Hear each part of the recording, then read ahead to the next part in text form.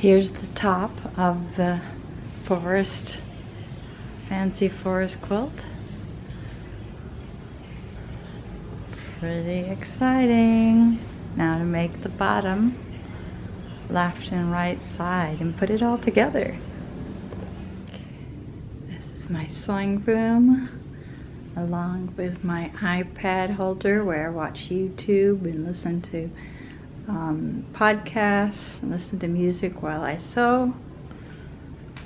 See my fancy holder there. And then this is my ironing station there. And I've got all my scraps inside there and there. It's a picture of my mom, my apple. There's a cross stitch of my family. And a picture of, uh, from Sarah Fielke's Craftsy class that I did with her. And pegboard that I need more pegs on. And there's some more scrap scraps. then I have my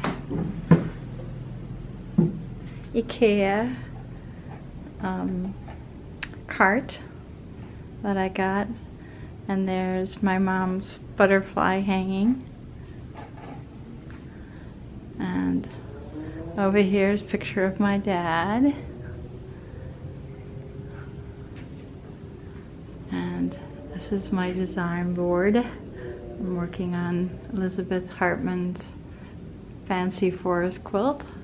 I was hoping I'd finish yesterday, but didn't quite make it as I went shopping and did some other things. Here's the one quadrant that's finished. Yeah. Here's the other pieces that I need to put together.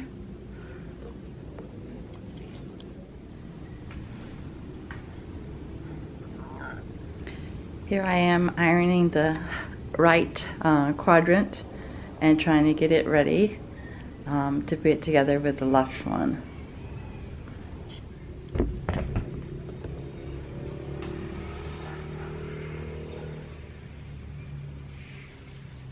Okay, now we're going to put the last quadrant together.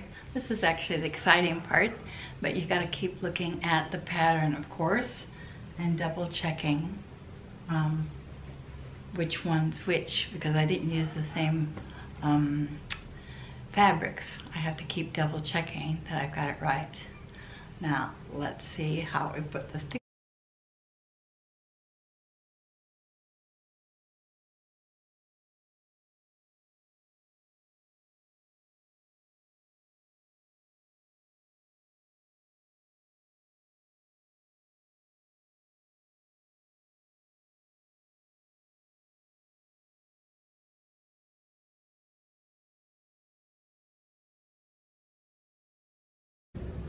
A good thing about my design wall, it's on a bulletin board, so I can actually pick it up and move it close to my sewing machine so that I can just take it off and put it on there really quickly.